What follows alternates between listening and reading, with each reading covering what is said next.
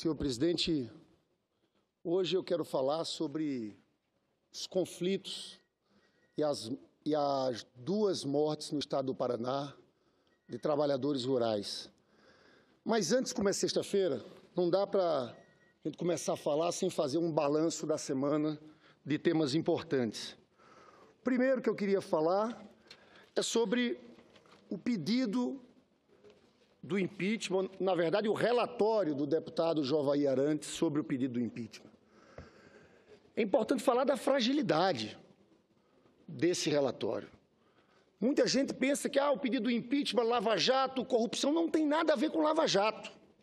O pedido está em cima de dois pontos: pedaladas fiscais e edição de decretos, de créditos suplementares.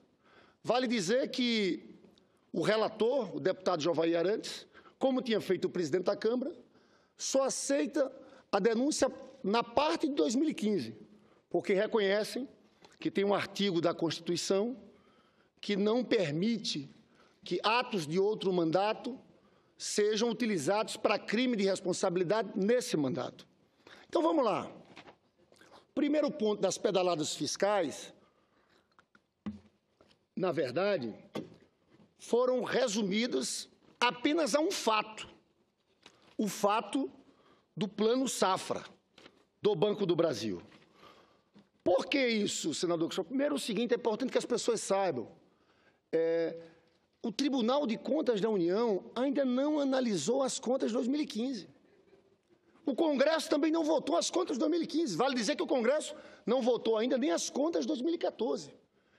Então, eles não tinham nem o que colocar em relação a 2015. Eles foram, então, em cima de apenas um fato, o Plano Safra. Porque aqui nós temos que rebater argumentos de que, ah, não, eu sou a favor do impeachment pelo conjunto da obra. Não é assim. Esse é um processo político, mas jurídico penal. Você tem que ter um crime de responsabilidade em cima de um fato. Qual é o fato que eles lançam? O Plano Safra como se o governo pudesse pagar imediatamente. O Plano Safra existe há muito tempo. É uma política de crédito para agricultores, em que o governo empresta juros mais baratos. E depois o que é que o governo federal tem que fazer? Pagar a diferença da taxa Selic para esses juros mais baratos. É isso.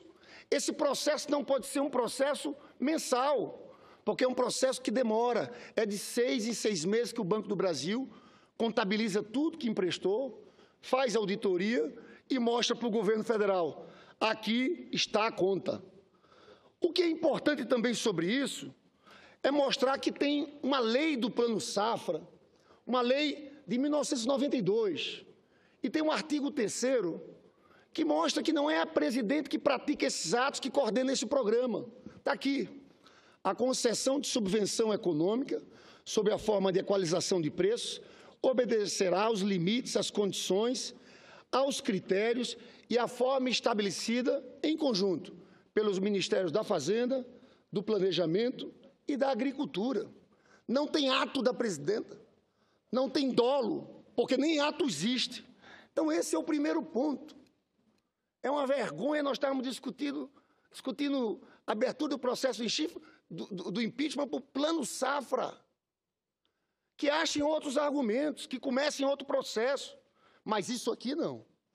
O segundo ponto, que são os decretos de crédito suplementar. Sinceramente, eu, eu vou trazer aqui na próxima semana, não vou fazer hoje, porque o plenário está esvaziado. Porque eu quero trazer aqui a situação de cada estado. E quero olhar aqui para cada senador dos estados. porque, veja bem, qual é o argumento do crédito suplementar? Ele diz o seguinte: a Dilma editou seis decretos de crédito suplementar. Tem um artigo 4 da lei orçamentária que diz o seguinte: ela pode editar desde que respeite o superávit primário. Naquele período, o governo já estava colocando o PLN 5 no Congresso para mudar a meta de superávit. Então, eles dizem o seguinte: naquele momento, o governo já sabia que não ia ter o superávit determinado. Então, ele não podia ter editado os decretos de créditos suplementares. Eles estão errados, senador Cristóvão, porque é o seguinte: no orçamento existe um princípio que é da anualidade. Você só examina o orçamento, só julga depois de encerrado o exercício. E no final do ano, o que é que estava? Nós aprovamos aqui no Congresso a mudança da meta de superávit primário. Se for para criminalizar isso, tem que criminalizar a nós também, que fomos nós que mudamos a meta do superávit primário. Nós que aprovamos o PLN 5. Só que a maior parte dos estados brasileiros, sabe o que aconteceu? Nem a mudança da meta houve. Aí sim era um crime contra a lei orçamentária. A maior parte dos estados brasileiros simplesmente não cumpriram a meta. E editaram vários decretos.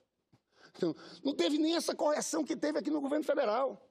Eu já falei aqui do caso de São Paulo. Em São Paulo foram 31 decretos suplementares assinados pelo Geraldo Alckmin. Geraldo Alckmin cometeu crime? Não. Ele mudou a meta? Mudou a meta. Igualzinho aqui. Então, querer afastar presidente por isso é uma loucura.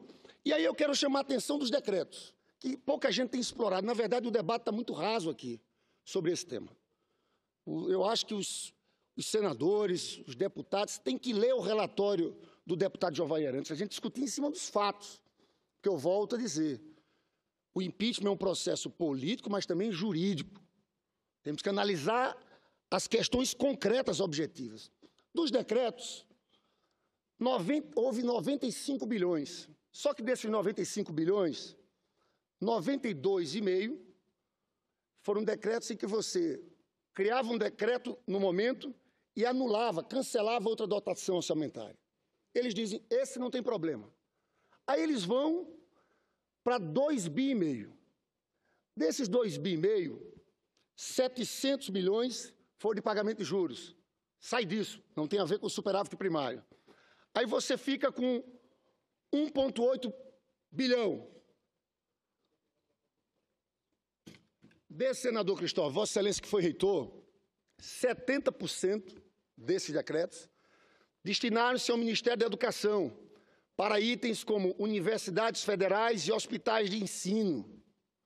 E 30% para outros poderes: Justiça Federal, TCU, Supremo Tribunal Federal. É.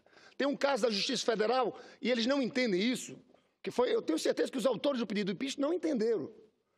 Esses casos aqui, eles dizem o seguinte: foi caso em que houve excesso de arrecadação ou superávit financeiro. Mas superávit financeiro e excesso de arrecadação nessas rubricas. Teve um caso desses decretos da Justiça Eleitoral que foi o seguinte: concurso público. Só que muito mais gente se inscreveu no concurso público. E a arrecadação da Justiça foi maior. Então ela estava pedindo autorização ali para utilizar aqueles recursos daquele concurso público. Mas vamos aqui o caso das universidades federais, que são 70%. No caso das universidades federais, os decretos são resultado de um acordo com o próprio TCU, de dar mais transparência aos orçamentos das IFES. Acontece o seguinte: as universidades possuem muitas receitas próprias, prestação de serviço, pesquisas financiadas, programas de extensão, etc. Até pouco tempo, as universidades depositavam esses recursos nas fundações de apoio à pesquisa, à pesquisa e havia críticas na transparência desses recursos.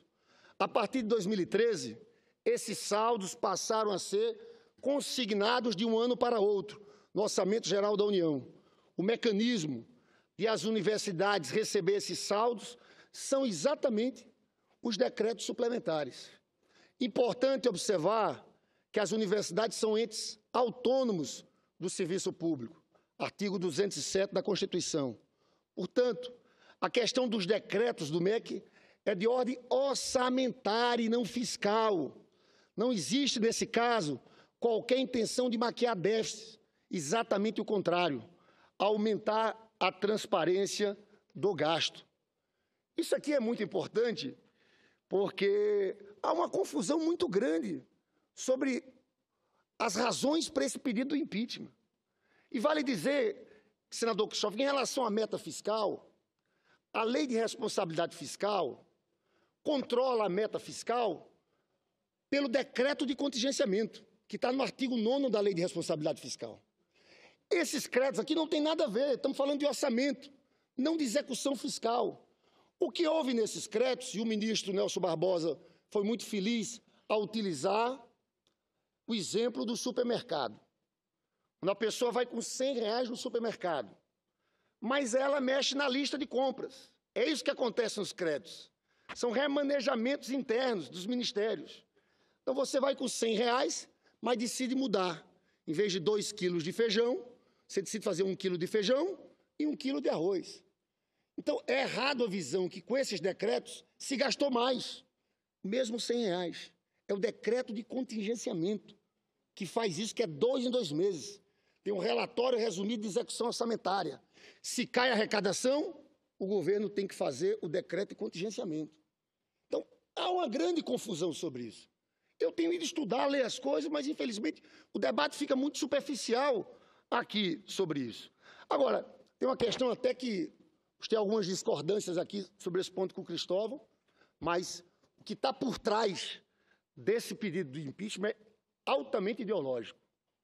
É uma visão aqui de endeusamento do superávit primário e, de fato, se essa visão do TCU passa, você não pode, você está proibido de fazer qualquer tipo de política cíclica. Porque eu defendo a responsabilidade fiscal.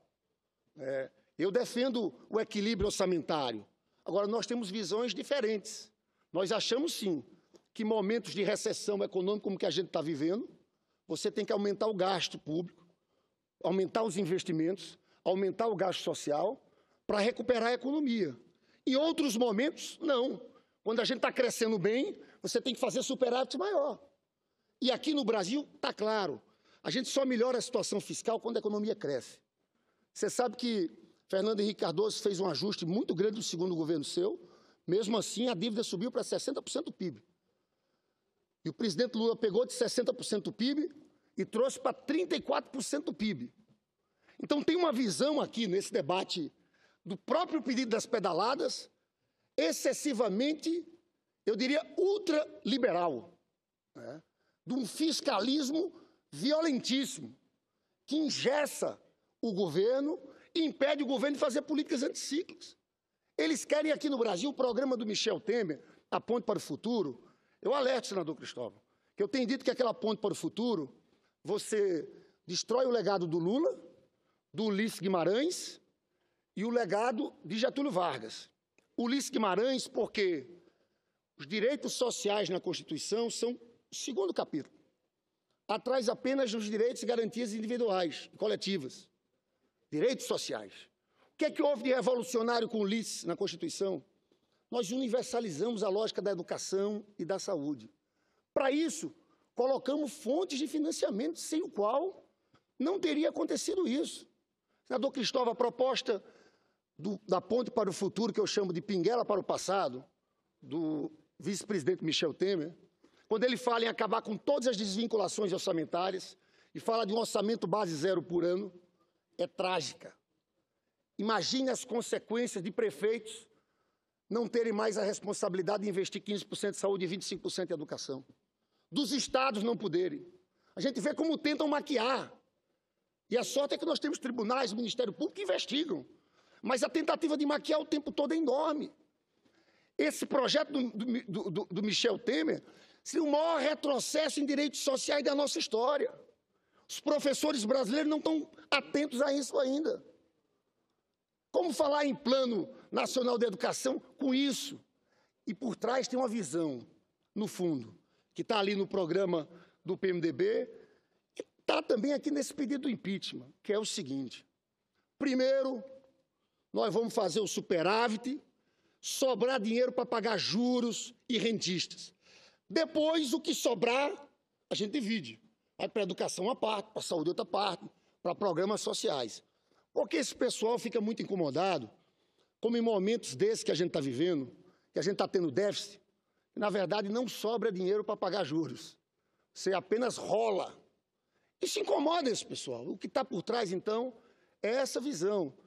Eu acho que esse debate tem sido feito de forma superficial, mas eu quero chamar a atenção disso. A base desse pedido do impeachment tem uma lógica ideológica, na minha avaliação, ultraconservadora e excessivamente fiscalista. Agora, eu espero que esse Congresso e a Câmara dos Deputados, na próxima semana, não aprove